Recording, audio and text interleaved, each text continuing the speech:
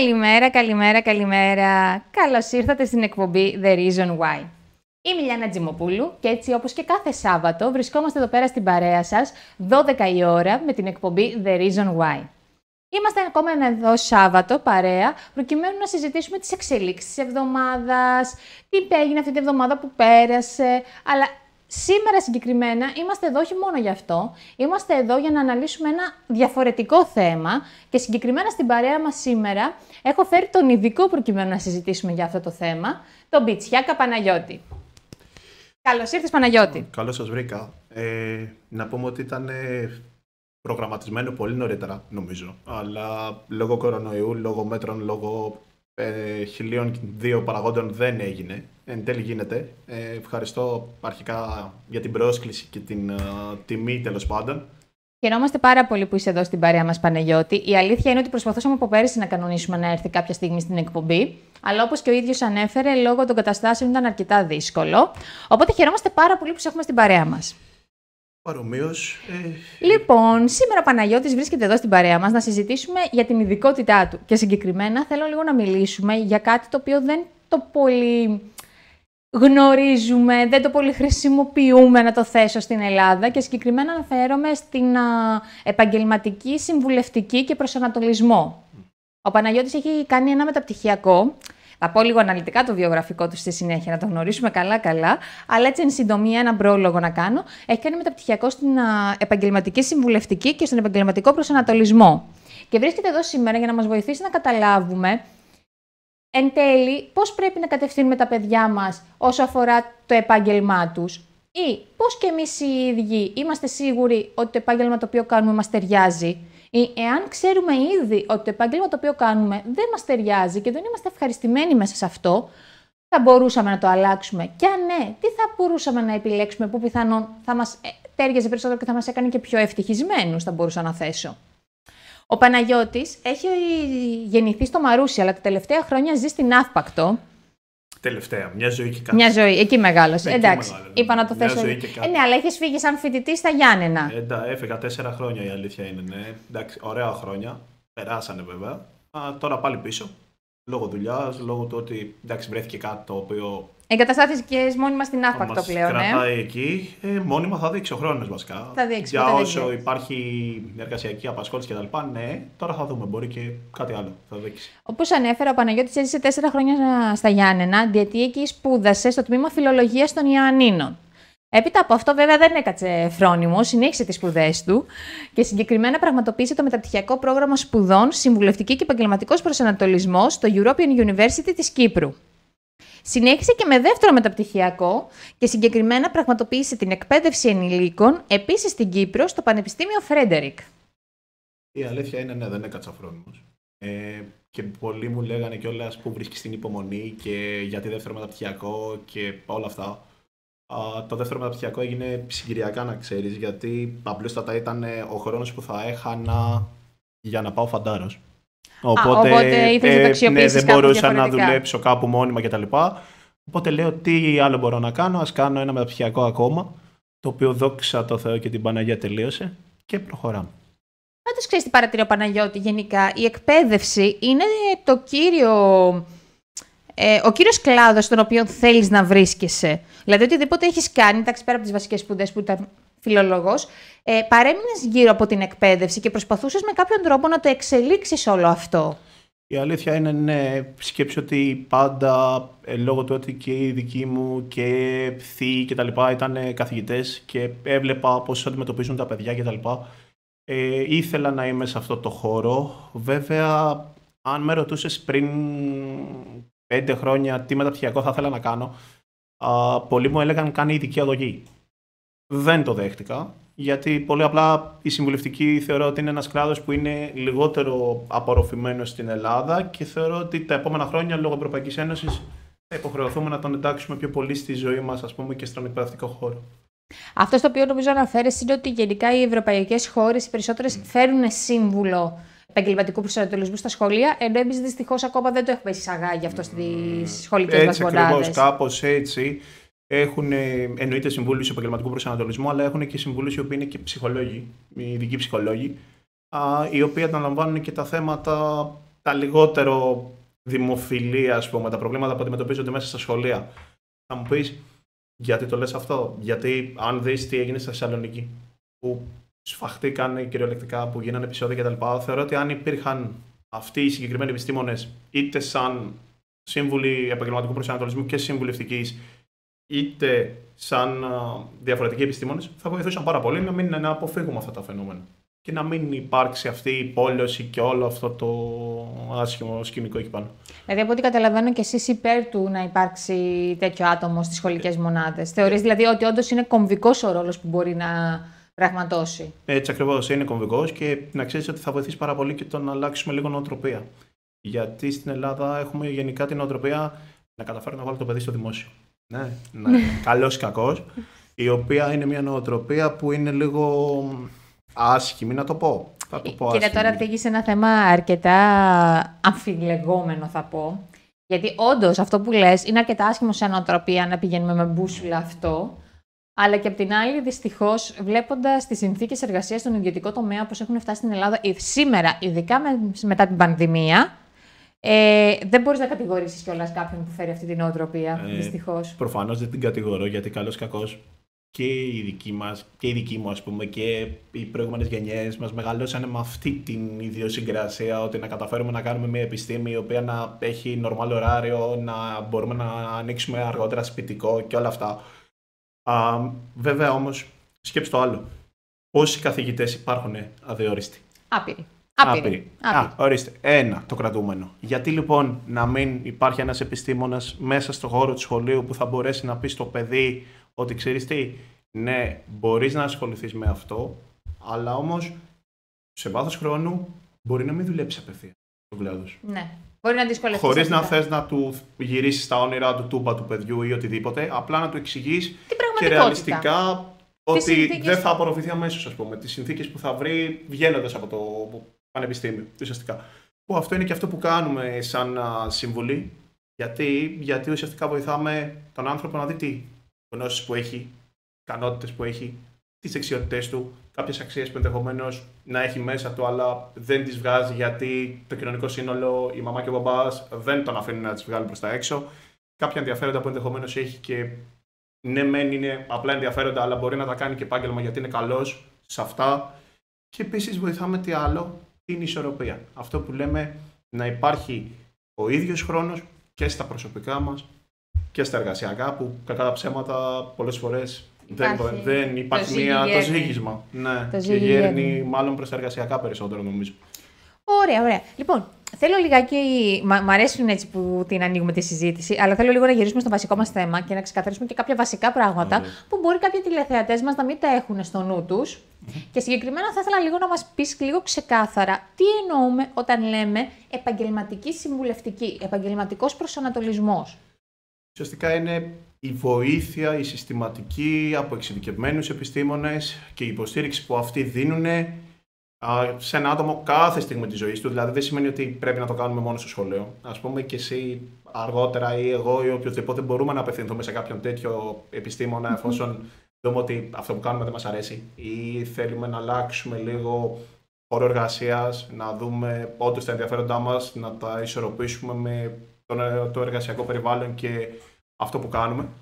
Και ουσιαστικά είναι όλα αυτά τα οποία προανέφερα. Βοηθάμε να δει το άτομο τις αξίες του, τις ικανότητες, δυνατότητες, να υπάρχει ισορροπία μεταξύ οικογένειας και προσωπικών σχέσεων και εργασίας και γενικά να πάρει το άτομο αποφάσεις είτε επαγγελματικές είτε σε προσωπικό επίπεδο μαζί με αυτά. Θέλω να μας διευκρινίσεις λίγο. Από την παιδική ηλικία, σε ποια ηλικία εσύ κρίνει, όχι εσύ, και εσύ προσωπικά και γενικά το, η όλη διαδικασία, όλος ο θεσμός της συμβουλευτικής, κρίνει ιδανική ως ηλικία για να μεταβεί το παιδί μας σε κάποιο σύμβουλο; Κοίτα, είναι λεπτό το θέμα. Ε, θα σου πω ότι η καλή ηλικία είναι το γυμνάσιο, πρώτο γυμνασίου και από εκεί και πέρα, γιατί μέχρι το δημοτικό το παιδί απορροφάει στα σφουγγάρι ό,τι του δώσει. Από το γυμνάσιο και μετά αρχίζει να φαίνεται που έχει κλείσει, σε ποιο χώρο μπορεί να δραστηριοποιηθεί, αν είναι ρε παιδί μου πιο πρακτικό το μυαλό του και ασχολείται περισσότερο με τα μαθηματικά ή οτιδήποτε. αν έχει κλείσει την τεχνολογία ή στην πληροφορική, αν είναι καλός στη ζωγραφική κτλ. Πάλι φαίνεται, αρχίζει και φαίνεται μάλλον εκείνα τα χρόνια. Και εννοείται σίγουρα και μέσα στο Λύκειο που εκεί θα κληθεί να πάρει την τελική απόφαση σε εισαγωγικά για το τι θέλει να κάνει και ποιο στόχο θα έχει για τις ε, εξετάσεις οι οποίες έρχονται μετά. Παρένθεση, δεν είναι η μοναδική ηλικία που μπορούμε να κάνουμε. Δεν είναι, είναι Ωραία, ωραία. Ε, δηλαδή, κάπου εκεί πέρα στο γυμνάσιο θεωρούμε κατάλληλη ηλικία. Είναι ουσιαστικά και η ηλικία που, από ό,τι καταλαβαίνω, ξεκινάμε και οι περισσότεροι να παίρνουμε τις κατευθύνσεις μας. Ξεκινάμε να διαλέγουμε τα μαθήματα. Οπότε εκεί ιδανικά προτείνει. Και μέχρι ποια ηλικία θεωρείς ότι μπορεί κάποιος να σε επισκεφτεί; Και 50 χρονών. Και 50 χρονών. Αν το αποφασίσει αν ότι θέλει να αλλάξει, ότι θέλει να αλλάξει χώρο και το, αυτό που κάνει, ή αν βλέπει ότι δεν έχει ε, δεν είναι ικανοποιημένος μάλλον από αυτό που κάνει. Είτε λόγω απολαβών, είτε λόγω του ότι η οικογένειά του κτλ. περνάνε σε δεύτερη μοίρα ή γιατί νιώθει ότι άδειασε, ότι δεν έχει τίποτα άλλο να προσφέρει στον χώρο κτλ. Ναι. Μπορεί να έρθει. Άρα ουσιαστικά απευθύνεται σε όλες τις ηλικίες. Έτσι ακριβώς. Απευθύνεται και σε όλους τους ανθρώπους, θα ρωτήσω τώρα εγώ εδώ. Όταν λες σε όλους τους ανθρώπους. Σε, ουσιαστικά μπορεί οποιοδήποτε, άντρας, γυναίκα, είπαμε ανεφηλικίας, να σε επισκεφτεί. Αλλά ουσιαστικά θεωρείς ότι σε ποιους απευθύνεσαι εσύ περισσότερο όταν λες ότι είμαι εδώ να σε συμβουλεύσω; Καλή ερώτηση. Κοίτα να δεις. Α, προφανώς απευθυνόμαστε σε όλους. Απλά υπάρχουν συγκεκριμένες κατηγορίες οι οποίες θέλουν και άλλη αν θέλεις.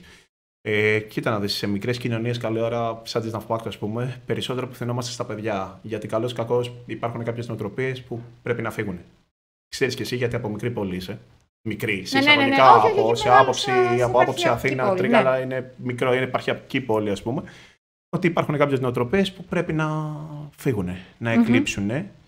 Οπότε απευθυνόμαστε κυρίως εκεί, στην νεολαία, γιατί θεωρούμε ότι αν η νεολαία αλλάξει, θα υπάρχει και μια ελπίδα παραπάνω και για την Ελλάδα και, και για τις επόμενες γενιές. Οπότε στοχεύουμε κυρίως εκεί. Βέβαια, ε, να ξέρεις ότι παίζουμε σημαντικό ρόλο και για κατηγορίες ανθρώπων οι οποίες είναι λίγο δακτυλοδεικτούμενες. Mm-hmm. Θα μου πεις, τι εννοείς; Μειονότητες.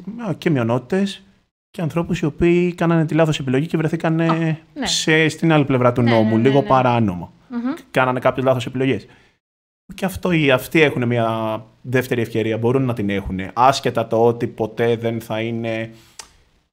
Δεν θα απαλλαγούν μάλλον από την οτροπία του έχει κάνει φυλακή.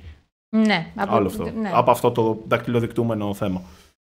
Εσύ, από όσο ξέρω κιόλας, να κάνουμε λίγο μια παρένθεση τώρα εδώ στη συζήτησή μας, έχεις εργαστεί σε φυλακές, σωστά; Ναι, ναι, έχω δουλέψει, αλήθεια είναι, για ένα εξάμεινο στο Μαλανδρίνο. Ναι, ναι, ενηλίκων, ναι, στο κατάστημα κράτησης στο Μαλανδρίνο. Ε, ωραία εμπειρία. Mm-hmm. Καταλαβαίνεις ότι δεν υπάρχει μόνο το μαύρο και το λευκό που λέμε. Εκεί ήσουν σαν φιλόλογος ή ήσουν ως συμβούλος; Α, δύο, και τα δύο έκανες. Ε, εντάξει, σαν φιλόλογος, μην φανταστείς, επειδή είχαμε να κάνουμε κυρίως με ανθρώπους από άλλες χώρες κτλ.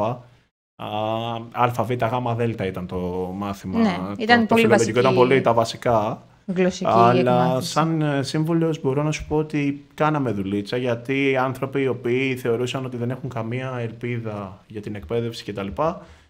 Βρήκαν ευκαιρία και τελειώσαν δημοτικό μέσα στη φυλακή, εργαστήκαν μετά σε διάφορα προγράμματα της φυλακής και αποκτήσαν κάποια χαρτιά που μπορούν να τα χρησιμοποιήσουν μετά για να δουλέψουν έξω. Γενικά είναι ένας χώρος που ενδείκνυται για να βοηθήσεις, ας πούμε. Mm-hmm. και να ασχοληθείς. Για πότε δηλαδή πιστεύεις και εσύ ότι και, και στις σχολικές μονάδες αλλά και στα σχολεία δεύτερης ευκαιρίας θα ήταν ιδανικό ε, να υπάρχει. Έτσι ακριβώς. Έτσι ακριβώς. Είναι σημαντικό. Είναι σημαντικό, όντως. Ωραία. Και είπαμε ότι απευθύνεται ουσιαστικά σε όλους, δεν έχει περιορισμό. Θέλω να μου πεις ουσιαστικά ποια είναι η διαδικασία που γίνεται; Δηλαδή, ξεκινάω εγώ σήμερα και λέω: Δεν νιώθω ικανοποιημένη με τη δουλειά την οποία κάνω. Ψάχνω στο ίντερνετ ή ψάχνω τέλος πάντων στους γνωστούς μου και μου προτείνουν τον Πιτσιάκα Παναγιώτη, τον επαγγελματικό σύμβουλο να επισκεφτώ. Ωραία. Έρχομαι στο γραφείο σου. Ωραία. Τι Έρχεσαι κάνουμε; στο γραφείο μου. Τι κάνουμε; Καταρχάς, ε, συζητάμε, σε γνωρίζω, μου λες ας πούμε τι, που, με τι έχεις ασχοληθεί, ποια ενδιαφέροντα υπάρχουν, προσπαθώ μέσα από μια μίνι συνέντευξη εισαγωγικά, να καταλάβω τις αξίες σου, τι σε ενδιαφέρει, τι είναι αυτό που όντως θέλεις να κάνεις, ποιες είναι οι κλήσεις που έχεις, αν είσαι άνθρωπος που είναι πρακτικός, δηλαδή που θες ας πούμε να υπάρχει ενεργητικότητα και να μπορείς να αναδειχθείς από αυτό που κάνεις, αν θες ας πούμε να είσαι σε ένα πιο στρωμένο πλαίσιο και low profile, χωρίς πολλές ευθύνες, με συγκεκριμένα πραγματάκια mm-hmm. κτλ. Και εκτός αυτού, μετά αποφασίζουμε και πώς θα δουλέψουμε. Αν θα δουλέψουμε σε κατηδίαν συνεδρίες, δηλαδή αν θα έρθεις εσύ σε μένα και εγώ μέσα από αυτές τις συνεντεύξεις και από κάποιες συναντήσεις θα μπορέσω να καταλάβω το εργασιακό σου προφίλ και να σου προτείνω μετά τι είναι αυτό που μπορείς να κάνεις, ή αν θα έρθεις ανάμεσα σε, σε άλλους σε ομάδα, που εκεί περισσότερο δίνουμε έμφαση στο τι μπορείτε να κάνετε σαν ε, σύνολο. Σας γνωρίζουμε μεν και σαν προσωπικότητες ατομικά, αλλά βλέπουμε κυρίως και πώς αλληλεπιδράτε σαν σύνολο, οπότε καταλαβαίνουμε και πού μπορείτε να σταθείτε και πόσο κοινωνικοί ή οτιδήποτε άλλο είστε. Γενικά, εσύ πότε προτείνεις περισσότερο την ατομική συνεδρία και πότε την ομαδική συνεδρία σε κάποιον; Mm, κοίτα να δεις, είναι ανάλογα και με την περίπτωση. Όταν έρχεται κάποιος στο γραφείο, έτσι. Στην πρώτη συνεδρία που γίνεται, ε, προσπαθεί, προσπαθείς, ουσιαστικά, ναι, ουσιαστικά να τον διαβάσεις και λίγο να μάθεις λίγα πράγματα για το παρελθόν του, αν αισθάνεται άνετα να δουλεύει ας πούμε, σε ομάδα μέσα και να αλληλεπιδρά με άλλους ή αν θέλει ατομικό χρόνο κτλ.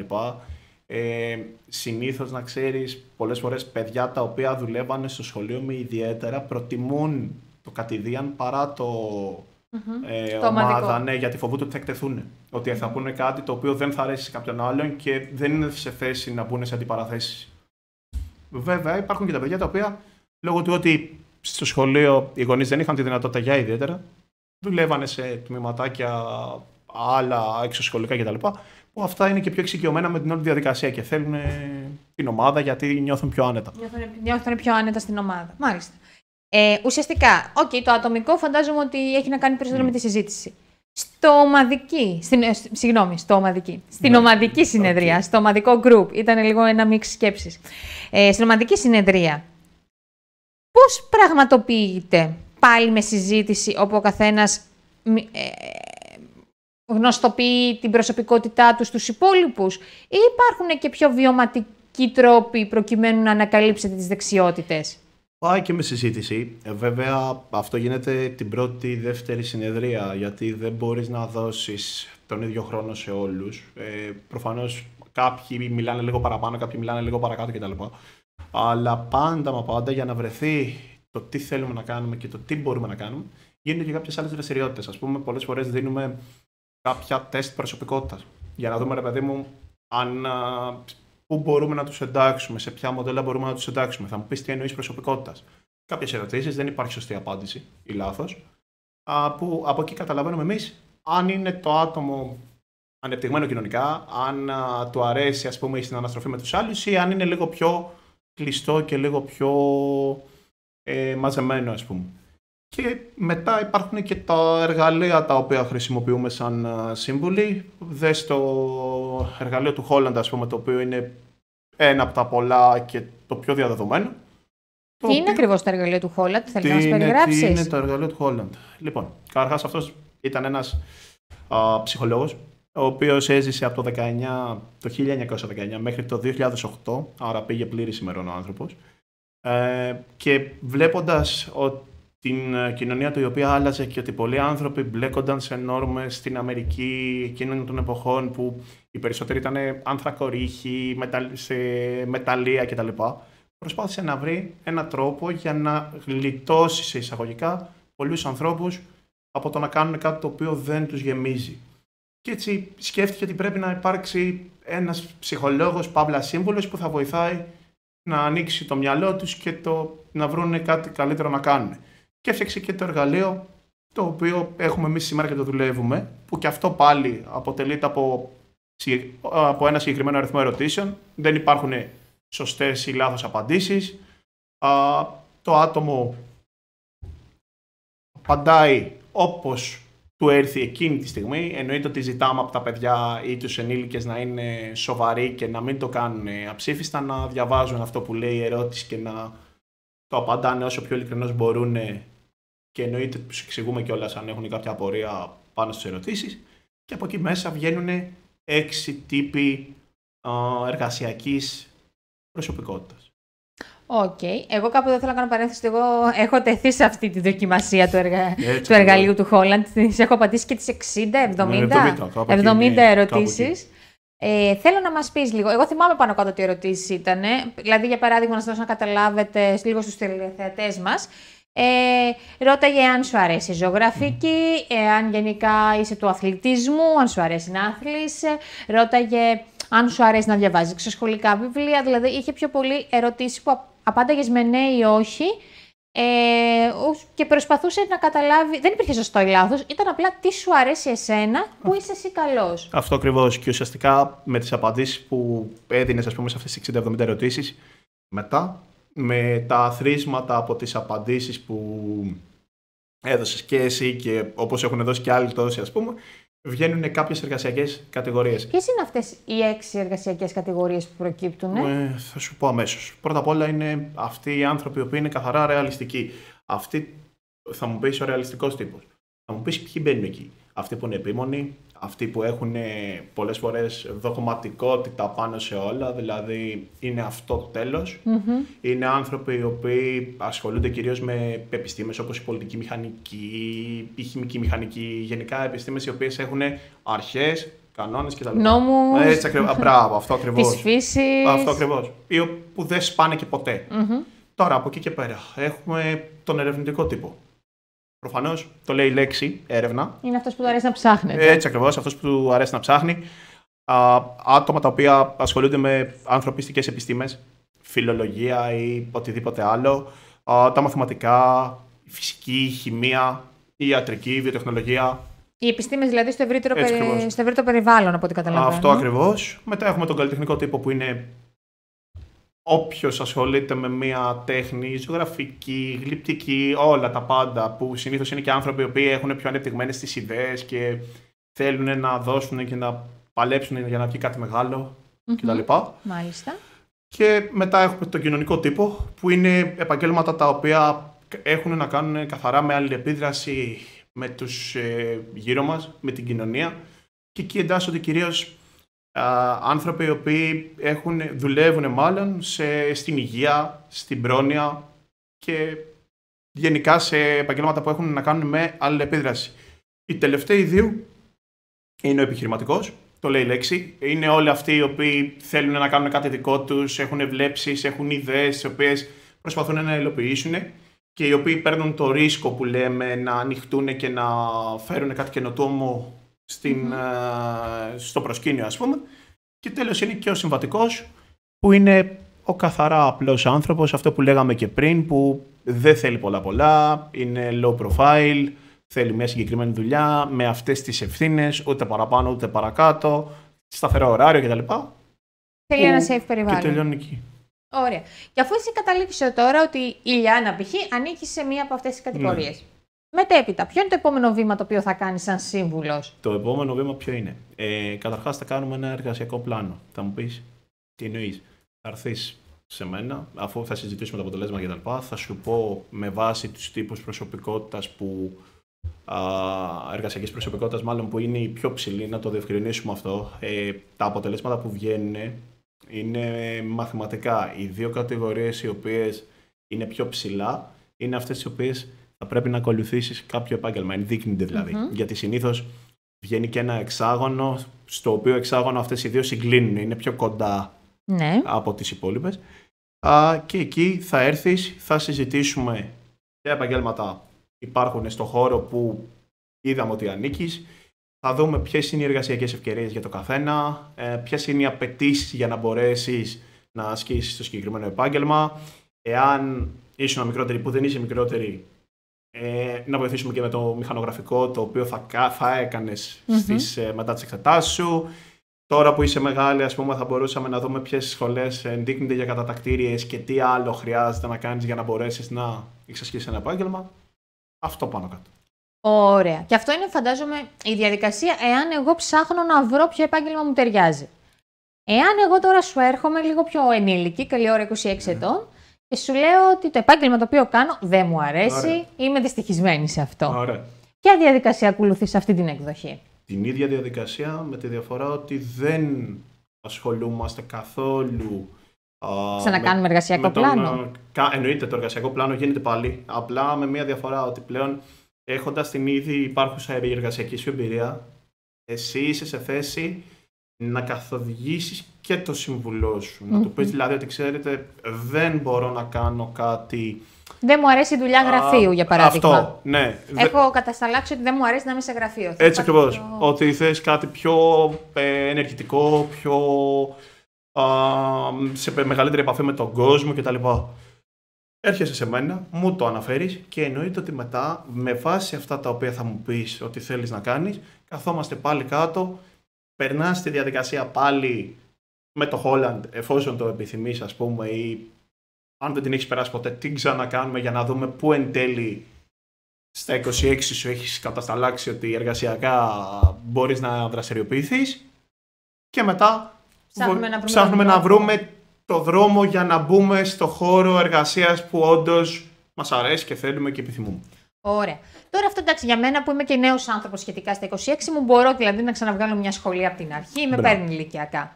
Τώρα, για παράδειγμα, έχουμε έναν άνθρωπο 40-50 ετών, ο οποίος έρχεται πάλι με το αντίστοιχο μοτίβο όπως ήρθα και εγώ, ότι δεν μου αρέσει η δουλειά μου, τη συχαίνομαι, θέλω να αλλάξω. Αλλά δυστυχώς σε αυτή την ηλικία έχεις πολλούς περισσότερους περιορισμούς Μπράβο. στην καθοδήγησή σου.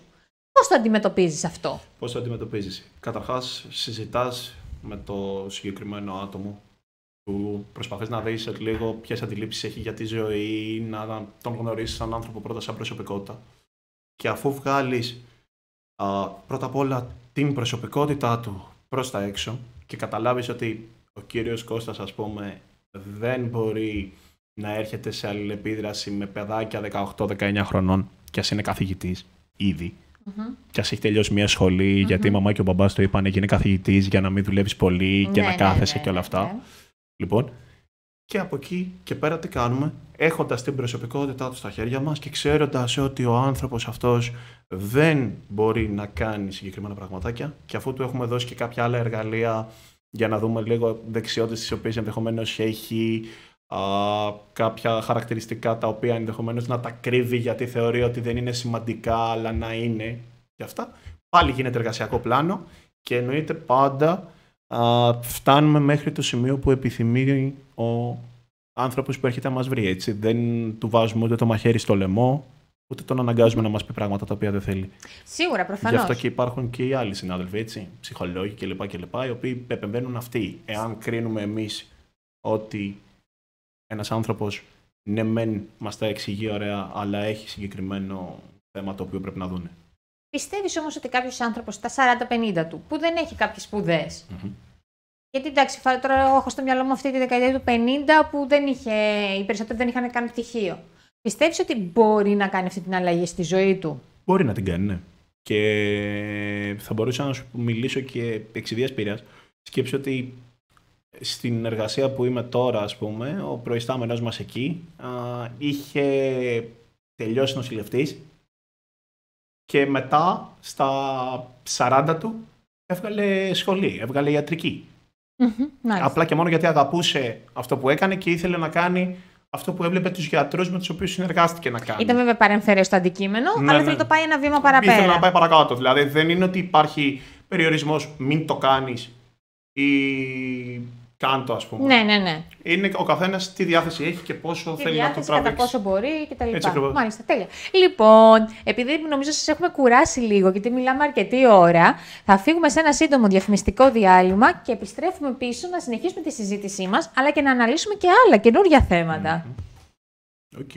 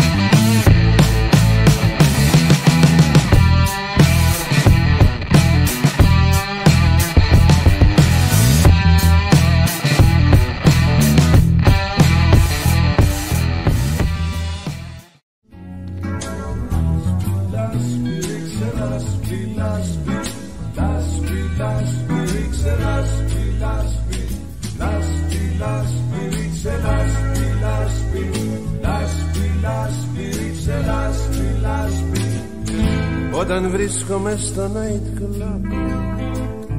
Μου χαμογελάει μια κυρία Όταν βρίσκομαι στο τραμ Με πλησιάζει ένας κύριος. Και εγώ του λέω τότε. Λάσπη, λάσπη, ρίξε λάσπη, λάσπη. Λάσπη, λάσπη, ρίξε λάσπη, λάσπη Λάσπη, λάσπη, ρίξε λάσπη, λάσπη. Λάσπη, λάσπη, ρίξε λάσπη, λάσπη. Όταν βρίσκομαι στην εξοχή Δεν έχω το μαγιό να κάνω πάνιο Όταν βρίσκομαι στην εσοχή Μου χαμογελάει ένας άρουρος Έχω δίπλα μου την α, προπονήτρια της ομάδας Παμπέδων του Πανιωνίου, την κυρία Φωτεινή Πόγκα. Καλησπέρα. Δίπλα μου είναι μία από τις προπονήτρες του τμήματος ενόργανης γυμναστικής του Πανιωνίου, η κυρία Βίκη Αλιπράτη. Είναι κοντά μου ο προπονητής του ΖΑΟΝ, ο Κώστας Λιώσης. Είναι κοντά μας η διεθνής πολίστρια και αθλήτρια του Ολυμπιακού, η Ελευθερία Πλευρίτου. Κοντά μου η προπονήτρια της ομάδας Αργυρούπολης, η κυρία Δήμητρα Λικογιάννη. Έχω δίπλα μου τον α, προπονητή του Πανερθραϊκού, τον α, κύριο Μιχάλη Χατζιπέρο. Κοντά μας είναι η προπονήτρια του Πανιωνίου, η Κατερίνα Οικονόμου. Κοντά μας είναι ο αρχηγός ομάδας του Πανιωνίου, ο Άγγελος Καρακίτσος. Είναι κοντά μου ο προπονητής του Κέρκη, ο κύριος Χρήστος Ντόζης. Δίπλα μου είναι ο προπονητής της ομάδας Αργυρούπολης, ο κύριος Μινάς Βρετός. Έχω δίπλα μου τον προπονητή του Ολυμπιακού, τον α, κύριο Αντώνη Βουρδέρη. Κοντά μου είναι ο προπονητής του Μιλώνα, ο Παναγιώτης Γεωργούτζο. Βρίσκομαι ανάμεσα στον α, προπονητή της Αρμενικής, τον κύριο Χαράλαμπο Τσιόκα. Έχω δίπλα μου τον α, προπονητή της Αρμενικής, τον α, κύριο Χρήστο Ρουμιάν. Κοντά μας είναι ο Γιάννης Γαρίφαλος, πρόεδρος της Διεθνούς Ένωσης Beach Polo. Δίπλα μου είναι ο πρόεδρος του Μίλωνα, ο κύριος Μιχάλης Ακελαρίδη. Δίπλα μου είναι ο προπονητής της γυναικείας ομάδας βόλεϊ του Μίλωνα, ο κύριος Μανώλης Καλημεράκης. Βρίσκομαι ανάμεσα σε δύο προπονητές, τον α, προπονητή του Πανιωνίου, τον κύριο Κωνσταντίνο Γιάννακα και τον προπονητή της Σκύρου, τον κύριο Θανάση Δαλακλίδη. Δίπλα μου είναι η προπονήτρια της Νίξα Μαρουσίου, η κυρία Εφη Μαρτσουκάκη. Κοντά μας είναι ο προπονητής του Ικάρου Νέα Μύρνη, ο Φώτης Καρακώστας. Από το Σιρήνιο Δημοτικό Στάδιο για το NSTV, Ανδρέας Λεκάκης. Μαζί μας έχουμε τον κύριο Μίμη Ανδρουλάκη. Έχουμε το χαρίδιμο, το γνωστό καραγκιόζοπαίκτη. Μαζί μας έχουμε τον εφοπλιστή Θανάση Μαρτίνο. Μαζί μας είναι ο Σπύρος Παπαϊωάννου. Μαζί μας έχουμε τη σοπράνο Έλλη Αναστασοπούλου. Καλησπέρα. Μαζί μας είναι η Ροζ Ζερβάκη. Μαζί μας είναι η αντιπρόεδρος του Συλλόγου Γιόγκα Ελλάδος. Είμαι η Ίτσα Σακτιανάντα. Μαζί μας είναι η Σμάρο Κοσμάογλου. Έχουμε τον Ρόμπερτ Ηλία Νατζέμι. Έχουμε τον πρέσβη των Ινδιών στην Ελλάδα, Τσέγουανγκ Top 10. Κοντά μας έχουμε τον πρόεδρο του Συλλόγου Ποντίων Καλιθέας, Θεόφιλο Καστανίδη. Ο Δημήτρης Κάρναβος, ο Δήμαρχος Καλιθέας είναι μαζί μας. Η κυρία Σουλτάνα Σοφρονίου είναι η συγγραφέας του βιβλίου «Τα εμβριώτικα» της Παμαγιαλίτισσας. Κοντά μας είναι ο κύριος Λάκης Βίγκας. Μαζί μας έχουμε τον Κάντερ Ζίογλου. Η κυρία Νίκη Σταύρου, η διευθύντρια των εκδόσεων ε, Καζαντζάκη. Ο Ηλίας Κατσιάμπας, υπεύθυνος του Ομακοείου Τρικάλων και Θεσσαλονίκης είναι μαζί μας. Ο Δημήτριος Τσεπάρος, Μαζί μας είναι ο υπεύθυνος του Ομακοείου Πειραιά, ο Κωνσταντίνος Δημελής. Η Νίκη Φούφα, ο Γιώργος Ξινός. Κοντά μας έχουμε την Ελένη Κωσυφίδου. Μαζί μας είναι ο Φίλιππος Κάκαρης. Η Ελένη Σακισλή, ο Γιώργος Γιώνη, ο Δήμαρχος Λουτρακίου. Κοντά μας έχουμε τη Χριστίνα Γεωργιάδου. Η Ελπίδα Μιναδάκη είναι μαζί μας. Κοντά μας έχουμε το Σοκράτη Ματζουράνη. Κοντά μας είναι η Δήμαρχος του Δήμου Αγίου Δημητρίου, η Μαρία Ανδρούτσου. Μαζί μας είναι ο Γιώργος Ζικόπουλο. Ο κύριος Νίκος Ταβουλάρη, πρόεδρος της Πανελλήνιας Ένωσης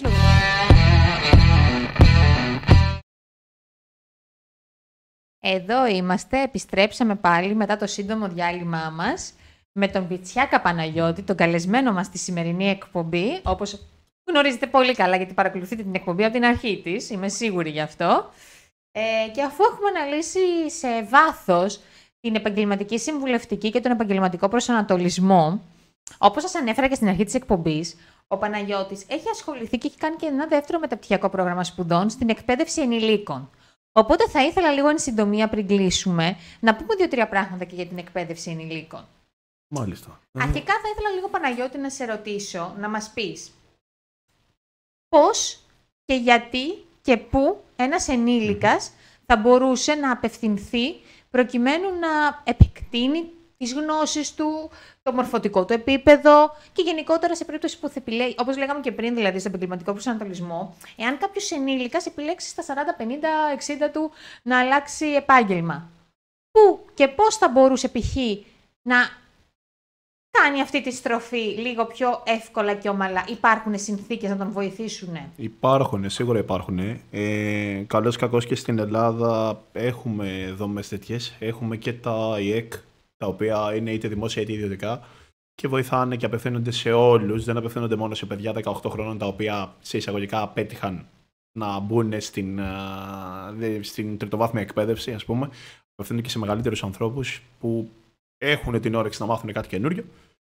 Πέρα από αυτό υπάρχουν και τα σχολεία δεύτερης ευκαιρίας, τα οποία είναι ουσιαστικά, έχουν τη δομή ενός κανονικού σχολείου, με τη διαφορά ότι οι μαθητές τους κατά κόρον είναι μεγαλύτεροι των 18 και άνθρωποι οι οποίοι απλά θέλουν να βγάλουν το σχολείο γιατί τους χρειάζεται για να μπορέσουν να δουλέψουν οπουδήποτε αλλού.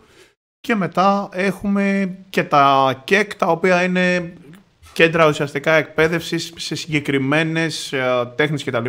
Που και εκεί πάλι απευθυνόμαστε σε ενηλίκους οποιασδήποτε ηλικίας.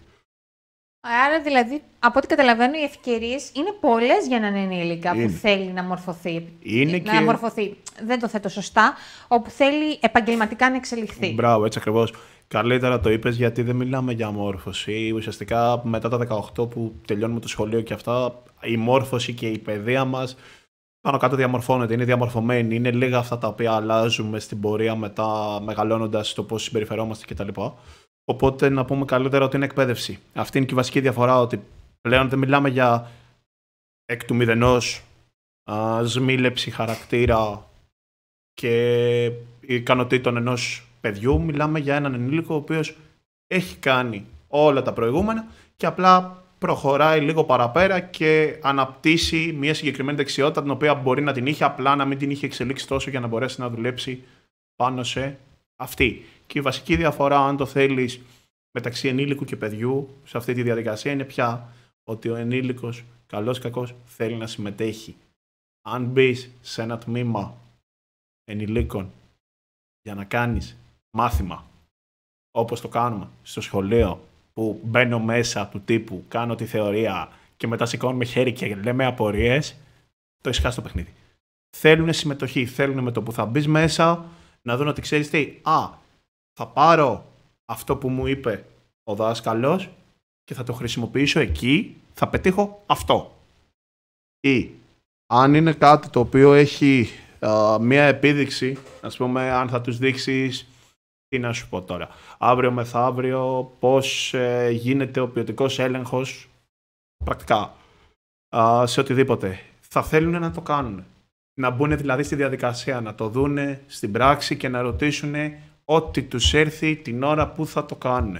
Δεν θέλουν να κάθονται και να είναι παθητικοί που λέμε. Αυτό που, λέει, που κάναμε στο σχολείο που περιμέναμε τον καθηγητή να μας τα πει όλα κτλ. Και, και μετά δεν σηκώναμε και χέρι γιατί ήμασταν φοβισμένοι. Λοιπόν, ξέρεις τι απορία προκύπτει τώρα στο κεφάλι μου καθώς ακούω να λες όλα αυτά; Εσύ ήσουν ήδη καθηγητής, ήσουν φιλόλογος. Ωραία.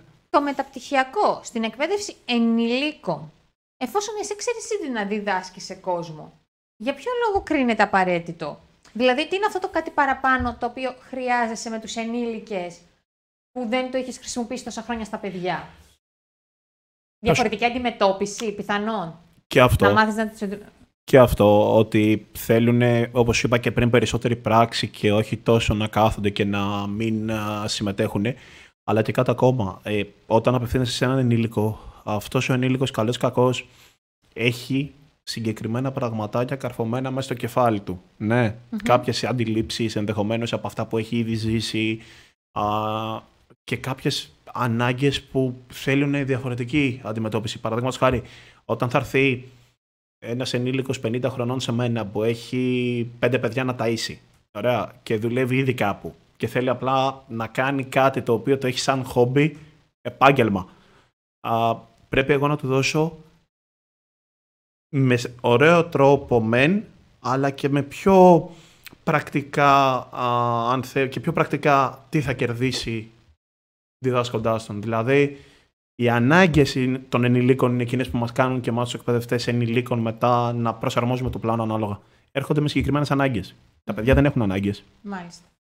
Οπότε αλλάζει και ο τρόπος που θέλουν να αντιμετωπιστούν, έτσι. Μμμ. Οπότε ουσιαστικά η διαφορετική αντιμετώπιση είναι ο βασικός παράγοντας. Έτσι ακριβώς, ναι, ναι. ναι, ναι. Μάλιστα, τέλεια.